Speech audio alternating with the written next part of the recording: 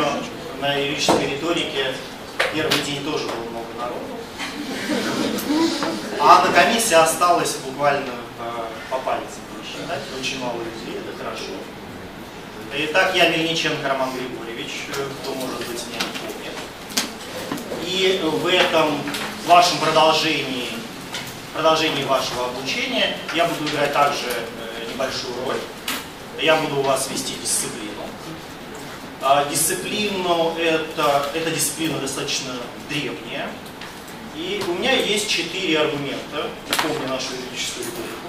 Четыре аргумента, почему а, я считаю эту дисциплину ну, стоит послушать, по крайней мере, прийти на экзамен. А, первое, нет, в эти четыре она не входит, экзамен это как бы бонус. А, первая причина такая. Международное право очень стабильно, концепт стабильности. Ну вот есть дисциплины, я в прошлом году, у меня был шок, был шок когда я посмотрел у Алины Чикачковой, я взял ее уголовный кодекс.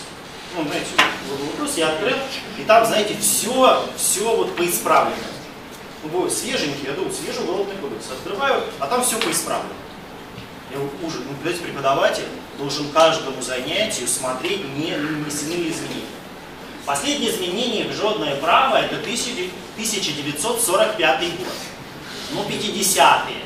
Ну, 60-е вообще свежак, свежачок прям вот, ну, ну, ну, если вы будете знать международное право, спокойно можете передавать его по генам своим детям. А оно у них будет точно так же. То есть стабильность это хорошо. Это первый. Первый аргумент, почему это хорошая дисциплина. А второй мой аргумент такой.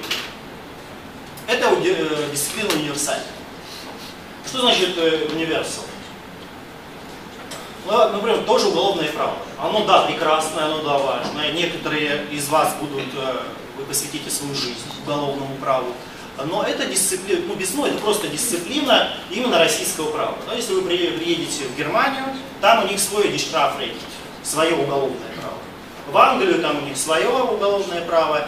И только одна дисциплина в Англии, во Франции, в Германии, в Соединенных Штатах Америки одна. Это международное право. Это дисциплина, которая универсальна для всего земного шара и для всего населения. Если к вам приедут, а у нас были такие случаи, когда к нам приехал немец из Кёльна и читал международное право, э, ну, студенты уже быстро прослушали мой курс, мы понимали, я тоже сидел и слушал, что он рассказывает то же, что мы уже слышали, то же самое. Буквально до терминологии, терминологические э, термины те же самые. Можно даже немецкий было не знать, но зная международное право, можно было понимать, о чем они. Третье, третий довод, ну он такой, знаете, общекультурный. Международное право, если вы посмотрите наш телевизор, я думаю, иностранные телевизоры также, но я просто мне ближе наш. Где-то там 5% про Россию, а 95% про международное право. Потому что как-то вот россияне очень любят международные, международные отношения. А что там происходит? А почему там у них э, там беженцы? А почему у них там цены высокие? Что-то вот про Россию очень редко говорят, а про международное право очень активно.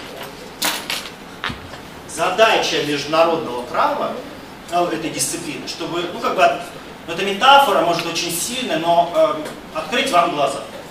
То есть, чтобы вы видели, что происходит за рубежом именно с позиции международного права. Опять же, этим летом, э, опять же, у меня был травматический опыт, я попал в дом, где был телевизор. И я посмотрел программу несколько раз. Ну, я просто готовился к этому очень сильно, я понимал, на чем это может закончиться для меня, как и для ритора. Но было очень поучительно с позиции международного права. Ну, например, выступает Дмитрий Анатольевич и говорит по международному праву. Я делаю файл, файл парс. Блин, думаю, ну, Дмитрий Анатольевич. Ну, я понимаю, вы цивилист. Да, Дмитрий Анатольевич Медведев известный цивилист. Ну, цивилист это гражданское, это гражданин. Но мучаете вы гражданское право. Римляне, древние римляне, которые придумали гражданское право, давно умерли, они вас простят. Но зачем вы говорите такое слово, как принципы международного права? Ну, видно, что вы их не понимаете. Смотрю дальше. Наш президент Ну, он же, я думаю, что он международник. Он же, э, вы знаете или нет, он в детстве был э, ну, в Германии шпионом, разведчиком. Разведчиком, значит, международное право должен 100% знать. Опять. Что ж такое?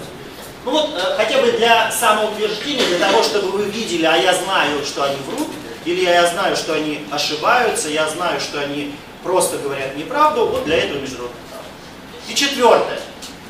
Четвертый довод, но он не связан с лекциями, и, пожалуй, даже не связан с международным правом. Но мы с Юрием Юрьевичем Витютневым, а мы будем вдвоем вести эту дисциплину на семинарских занятиях, будем развивать у вас одну компетенцию. Компетенция очень важная для международного права, она важная для права вообще и важная для жизни э, в третьих. Это компетенция поиска. Как что-то найти.